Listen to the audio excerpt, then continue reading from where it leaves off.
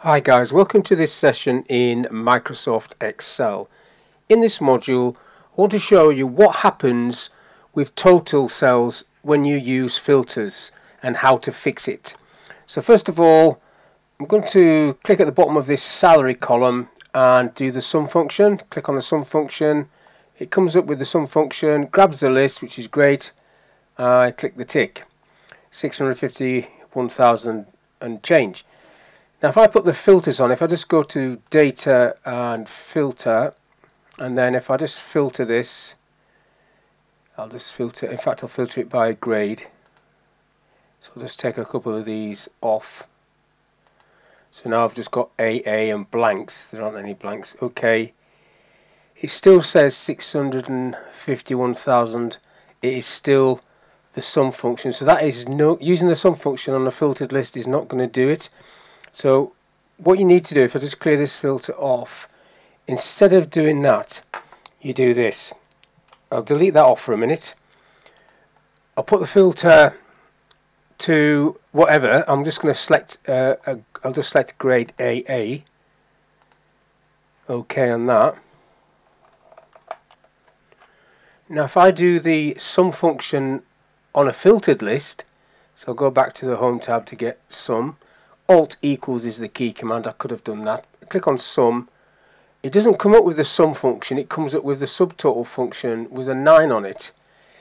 And then you've got the range it's picking up, which is now going to be a dynamic function. Whichever size this list is, that will always add it up. If I just tick this, you'll see the difference.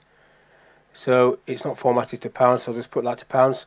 So it was on 650,000. If I clear the filter off, if I just go back to clear. It was on 651 which is exactly the full amount. But now if I filter any of these columns so if I just take this tick off and filter by equal ops that figure is adjusting to tell me what the actual score on the door is. Now if you format this table as a table this function automatically appears when you do it at the bottom. So that's what I want to do now. So I'll clear that filter and I'll delete that off. And I'll format this as a table. So that is on the home tab. Format as table. Just going to select uh, one of these options down the bottom there. It's picking up that I've got a headers. So there's the table.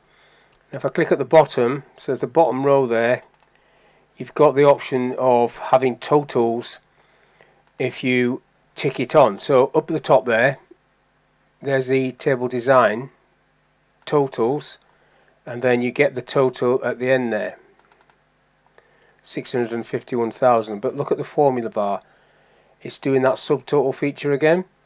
It's automatically doing the subtotal feature. Now if I delete that off and just um, do alt equals which is the key command for sum it still does that subtotal function now if I filter again for equal ops, that subtotal function is going to automatically summarize the list. So you can do it manually on a basic filter or if you format it as a table it will automatically use the subtotal function. And you'll notice the difference there. It's got 109 instead of 9 but it's doing the same thing. It's a dynamic sum. So whatever you filter if I just bring this back select all.